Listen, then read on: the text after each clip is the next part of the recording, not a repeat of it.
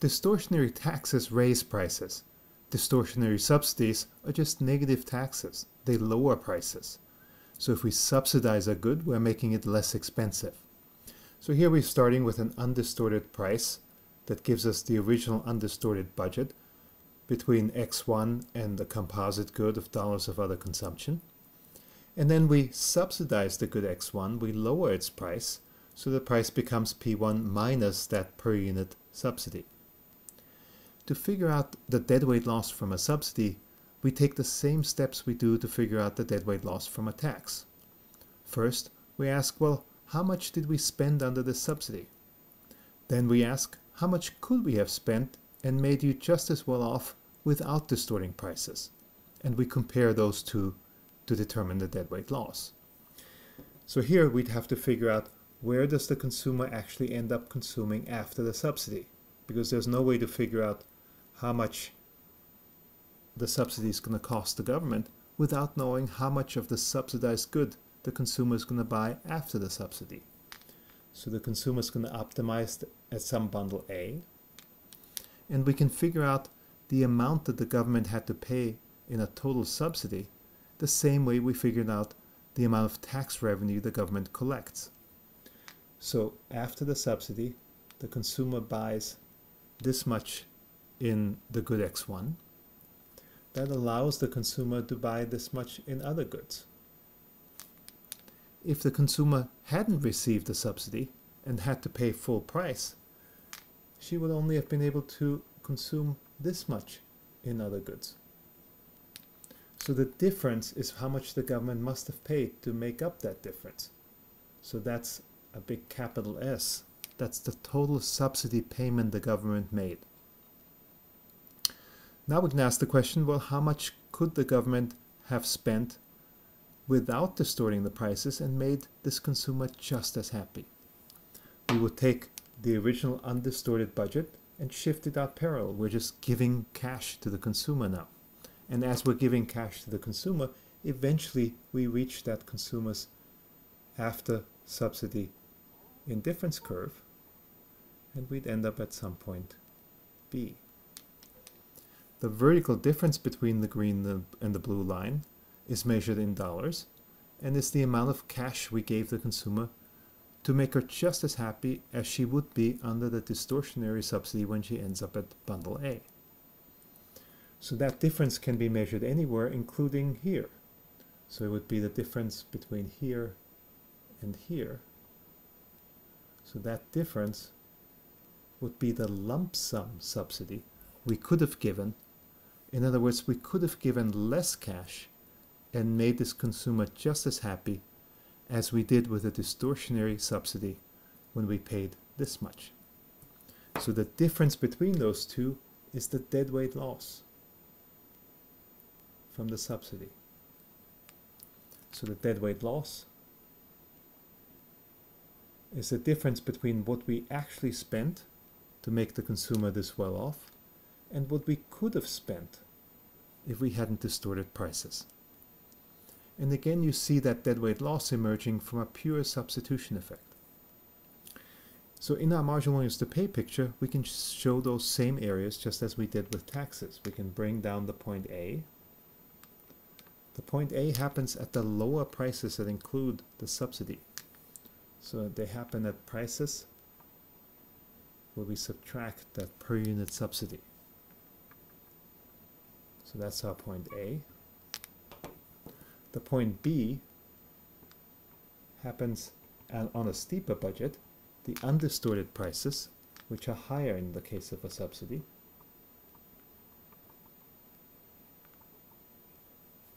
When we connect those, we get a marginal willingness to pay curve we get a curve derived from tangencies from a single indifference curve. So that's the marginal willingness to pay curve that corresponds to this utility level A.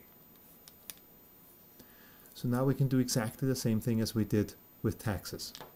We can figure out the consumer surplus without the subsidy, without the distortionary subsidy, but with the lump sum subsidy, where we leave the consumer with the high price. In this case, the consumer surplus would be everything above that price up to the marginal willingness to pay curve, which is area A. Then we can figure out the consumer surplus with the distortionary subsidy. So with S.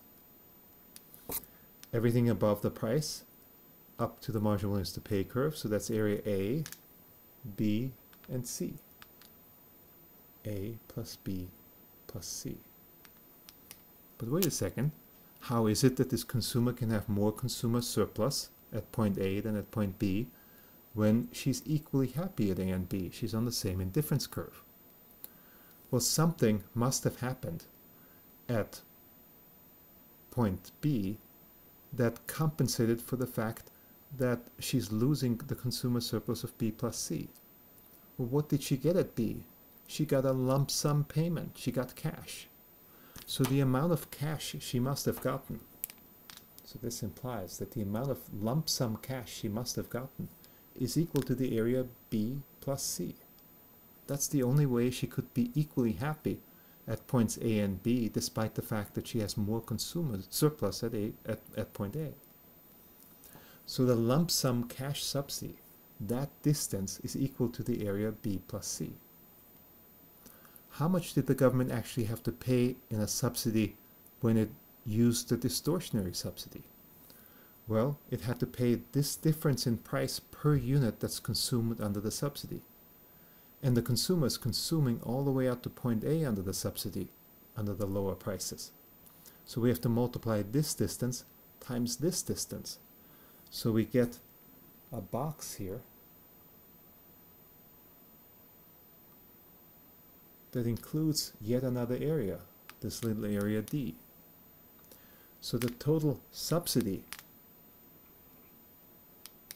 capital S, this distance here, is equal to that rectangle, B plus C plus D. Well, the deadweight loss is defined as S minus L. So if we subtract B plus C from B plus C plus D, we get area D. This area D becomes the deadweight loss from the distortionary subsidy. And just as with distortionary taxes, that deadweight loss is entirely due to a substitution effect. So it should go away if we remove the substitution effect. So let's do that. We do that by making the goods perfect complements, remove all degrees of substitutability, and we just replicate the picture. We have an initial budget that's without distortion, so the original price. Then we have the budget with the subsidy, the lower price. We find the optimal point on that budget, only now we do it with an L-shaped indifference curve for perfect complements. We get our point A. The amount the government has to pay is the difference between the other consumption that consumers could do with the distortionary subsidy and the amount that they could have done consuming the same amount but without receiving a subsidy. So this difference becomes capital S.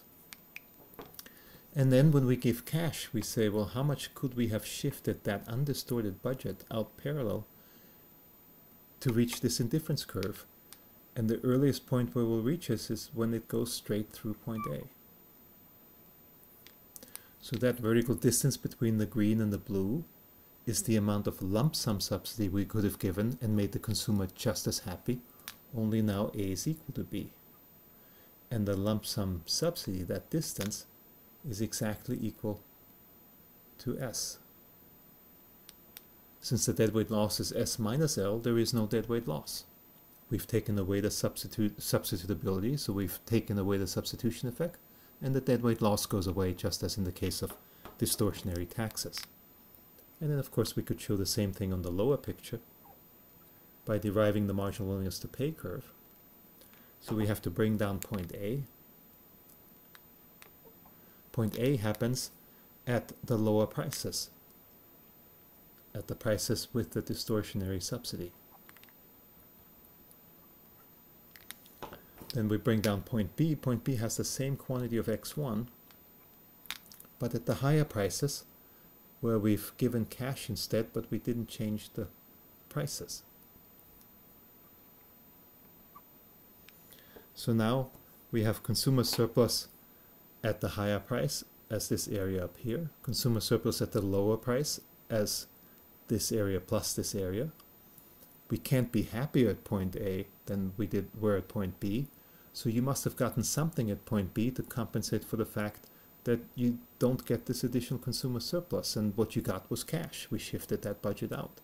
The amount of cash you must have gotten is exactly equal to this area. So we have areas A and B. The amount of lump sum cash we gave you to get you to point B is just equal to area B. But that's also equal to the subsidy payment the government made. The per unit subsidy is the difference in prices. You buy this many units, so this rectangle now becomes the total subsidy pay payment. So deadweight loss is equal to S minus L, which is now zero. There is no little rectangle that's hiding somewhere here. It's gone away because we've removed the substitution effect. We've moved, removed the source of the deadweight loss.